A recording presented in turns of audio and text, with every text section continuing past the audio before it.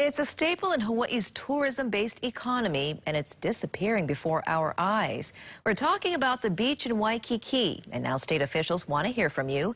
Dallis Ontiveros joins us now live with a look at just how bad conditions are getting.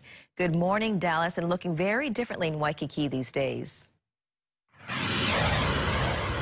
Good morning, Christine. That's right. And from what I'm told, this has been an ongoing problem, which is why the Department of Land and Natural Resources is proposing different projects for beach and maintenance improvement for the areas of Fort DeRussy, Halekulani, Royal Hawaiian, and Kuhio Beach sectors. Now, what is happening later today is that the Office of Conservation and Coastal Lands will be holding a virtual scoping meeting today. We have that link on our website at KHON2.com regarding the environmental impact statement preparation notice for the Waikiki Beach Improvement and Maintenance Program. Now that meeting starts at 2 p.m. Again, it is through Zoom, so it is a different experience, but of course, it's going to give you that information that you need and also the solutions on how you can help save our beaches here in Waikiki. But give you a live look, if we could go back on TV right here, just to show you the exposed plumbing here in between Halekulani and the Outrigger Waikiki. You see that we have these two pipes meeting at an intersection right here. We also have this area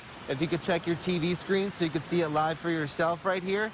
This used to be a public access area, and now it has been closed down because of the exposed plumbing and also the ongoing erosion that's continuing to happen here with those high tide waves really adding the pressure to it. So this has been closed down for quite a bit. You can see another area of exposed plumbing over here in this area as well. So once the sun comes up, we're going to see different damages that our beaches have taken throughout the years and also how we can help save them. So Reporting from the Waikiki area, Dallis Ontiveros, KHON2 News, working for Hawaii.